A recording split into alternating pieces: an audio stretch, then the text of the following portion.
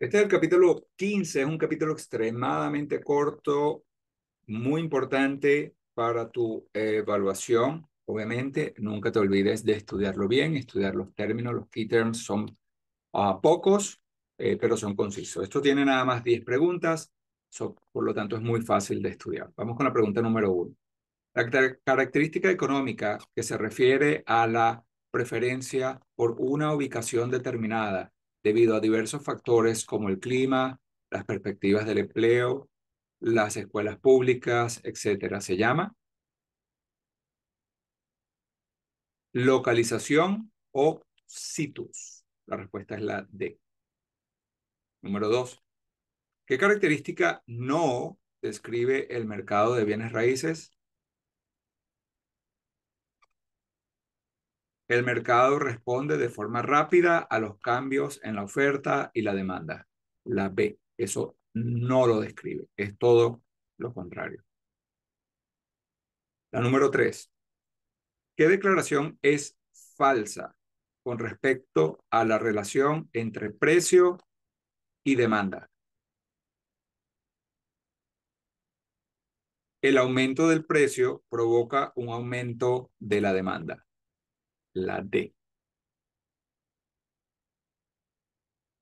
Número 4. Unos 280 apartamentos están alquilados en un edificio de 350 unidades. ¿Cuál es la tasa de ocupación del edificio? Esta es muy sencilla. Se agarra 350 eh, apartamentos. y 350 apartamentos es el 100%, 280 apartamentos, ¿cuánto sería? Es lo que llaman una regla de tres.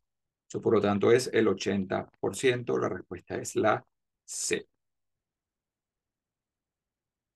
Número 5. ¿Qué declaración no está asociada con el concepto económico de demanda? La disponibilidad de materiales de construcción influencia a la demanda. Esa no está asociada. La D. Número 6. Cuando el equilibrio del mercado de bienes raíces se ve alterado por un exceso de oferta, completa la oración. Cuando el equilibrio del mercado de bienes raíces se ve alterado por un exceso de oferta, existe un mercado favorable al comprador o la C. Número 7. Una persona o un grupo de personas que ocupan un espacio separado de vivienda se define técnicamente como La respuesta es la B. Una unidad familiar. Número 8. La singularidad de los bienes raíces también se llama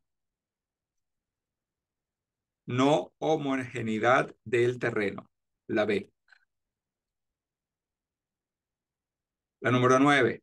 La durabilidad del terreno se refiere a la indestructibilidad, la C. Y la última, la 10. Los factores que afectan del lado de la oferta del mercado inmobiliario no incluye la disponibilidad de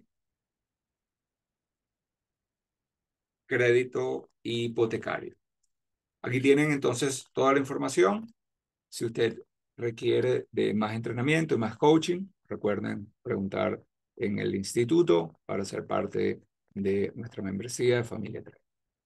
Sigan estudiando y aprendense esto de memoria.